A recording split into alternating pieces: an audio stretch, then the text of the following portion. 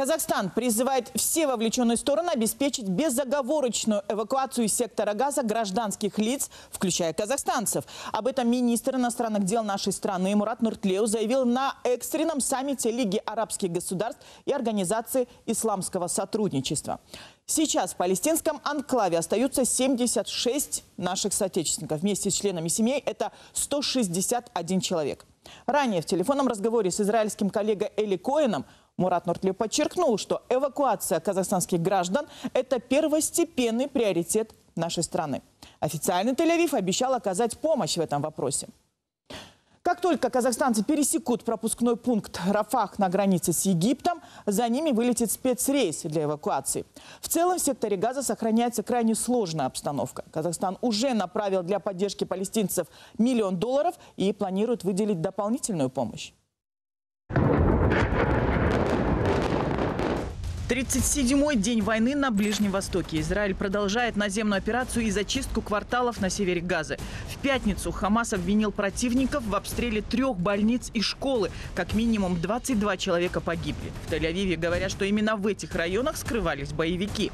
В ООН призывают прекратить неизбирательные бомбардировки и увеличить гуманитарные паузы. Израиль согласился прерывать военные действия на 4 часа в день, чтобы мирные жители могли получать помощь. Хотя продовольствие и медикаментов по-прежнему не хватает. В больницах многие операции проводят без наркоза. По информации Хамас, число погибших палестинцев превысило 11 тысяч. По данным местных врачей, каждые 10 минут в Газе погибает один ребенок. Черно-белые оттенки дипломатии, решительное «нет» сепаратистам, а также испытание большой водой в жидком и более твердом виде в нашем традиционном обзоре мировых событий недели.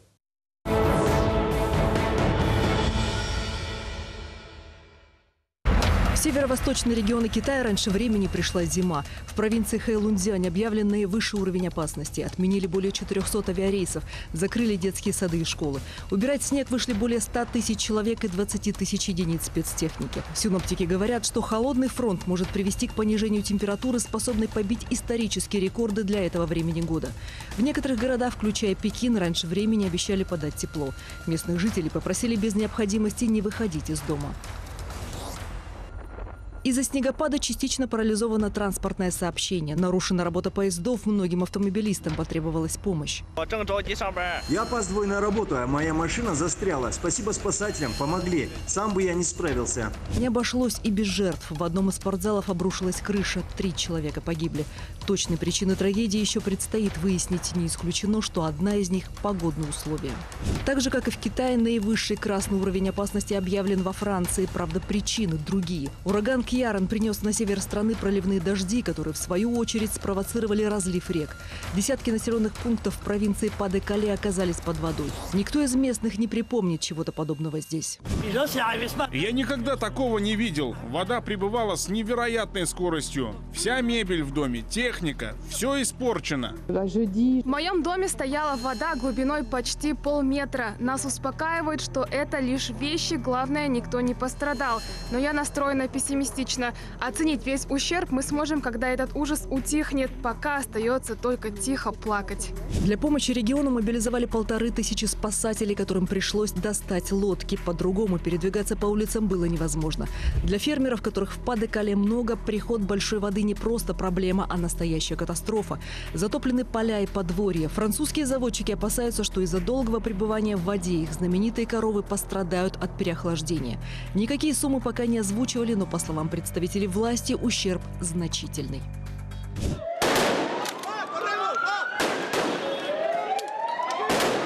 Взрыв петард и свист резиновых пуль. На улицах Мадрида развернулись настоящие уличные бои между полицией и местными жителями.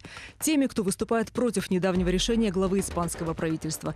Партия Педро Санчеса победила на выборах летом, но не смогла сформировать парламентское большинство. Для этого нужны союзники. И единственный подходящий кандидат – партия сепаратистов. Однако у будущих партнеров есть обязательное требование – амнистия для всех осужденных за попытку отделения Каталонии от Испании 6 лет назад. Противники такого решения вышли вышли на улицы в разных городах страны. Когда я прочитала условия сделки, у меня волосы дыбом встали. Никто, ни один политик не имеет права подписывать нечто подобное. Мы здесь не из-за идеологии, а против того, что является неконституционным. Это противозаконно. Они не имеют права решать вопрос о территории, которая им не принадлежит. Каталония принадлежит всем испанцам. Под амнистию могут попасть около полутора тысяч человек, активистов и политиков, среди которых бывший испанский премьер-министр Карлес Пучдемон. Сегодня он в Бельгии, на родине его ждет 30-летнее тюремное заключение. Жертвы политических преследований, в том числе и я, имеем право на реабилитацию и гарантии того, что такого с нами больше не повторится. Народ и власть в прямом и переносном смысле оказались по разные стороны баррикад. В уличных потасовках пострадали 30 полицейских, 15 человек арестованы. Если амнистию одобрит Конгресс, Пучдемон сможет вернуться в Испанию и потенциально баллотироваться на пост президента. Это был самый посещаемый вольер Смитсоновского национального зоопарка за последний месяц. Жители округа Колумбия прощались с тремя гигантскими пандами, которых Китай отзывает домой. Все бамбуковые медведи в мире принадлежат Поднебесной. Это величественные животные. Мы приходим сюда в третий раз за последний месяц, и я наслаждаюсь каждой минутой. Я надеялась, что они смогут вернуться. Я надеялась, что они и в этот раз смогут продлить контракт, как удавалось это делать ранее. Но продлить контракт не получилось. Каждый медведь, отправленный за границу, приносит Пекину до миллиона долларов в год. Хотя тут вопрос вовсе не в деньгах. Эксперты вновь заговорили о так называемой пандой-дипломатии. Многолетняя практика показала, что Китай отправляет животных, признанных национальным достоянием, в дружественные страны или те, с которыми планирует наладить отношения. Появилась и шутка «Хотите китайские контракты? Вам нужен медведь».